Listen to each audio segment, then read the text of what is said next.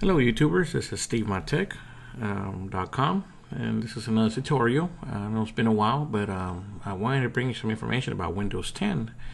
So you upgrade it and everything looks the same. Unfortunately, if you look on your start button, it's quite different now. And let's just say you're used to your old ones, I'm going to show you how to get it back. Good thing about this, if you have two monitors, um, you're actually going to have a taskbar for each monitor. So I thought that was pretty cool. Another tutorial, I'll show you how to run through these. But in the meantime, if you're in need for using your your old version uh, start button, I'm going to show you how to get the Windows 7 or Vista if you prefer. Um, I'm going to go ahead and start with uh, Google, and we're going to go to a website, uh, um, classicshell.net.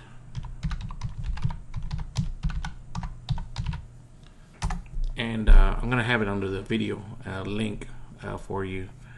Um, you're gonna go where it says download now, and it's gonna start downloading right now.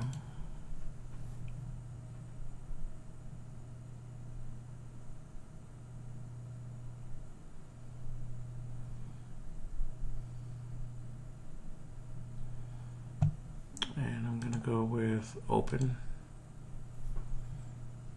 it goes. All you're gonna do is just click next.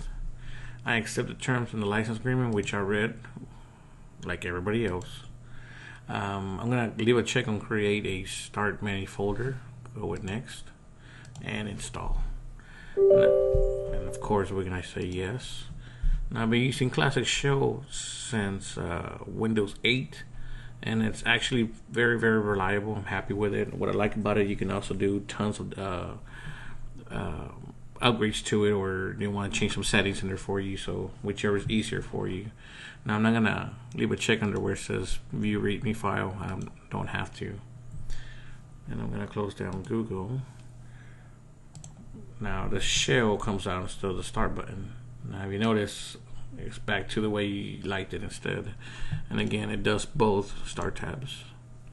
And it'll go with all your programs too. So everything's back in here square one please uh, like and share. Um, if you have any questions or concerns, or if you have any issues, um, shoot me an email at steve at stevemytech.com.